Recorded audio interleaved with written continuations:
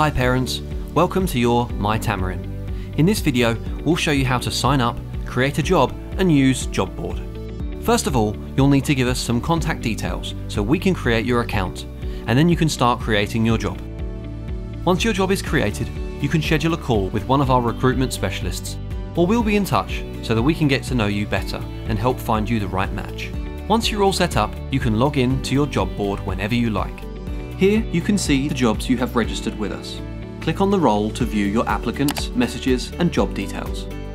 Here you can see an overview of the nannies who have applied for your role and at what stage they are during the process. Nannies who have applied for your role will appear in the Applicants column. Nannies who have withdrawn their application will appear in the Closed column. You can also move applicants into this column if you don't think they're the right fit. Select your favourite nannies and add them to the Shortlist column. You will also see nannies we have personally selected for you in the Shortlist column. Please note, nannies aren't notified if they are shortlisted. This feature is to help you view and filter through your applicants. If you want to interview or trial a nanny, simply move them across to the Interview and Trial column. The last column is reserved for the candidates you have made an offer to or decided to hire. You can move nannies across the pipeline using your mouse or by clicking the drop down arrow. To see a nanny's profile, simply click on their name.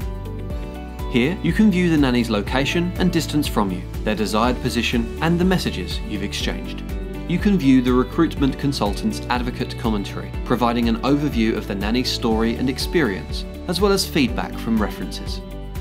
The checks we have performed and the documents we have collected are visible in My Checks, along with their date of validity. Click the drop down arrows to explore the nanny's personal statement, qualifications, and work history. Nannies who we recommend for you will be shown with a yellow badge. Click on the bubble emoji to view our recommendation.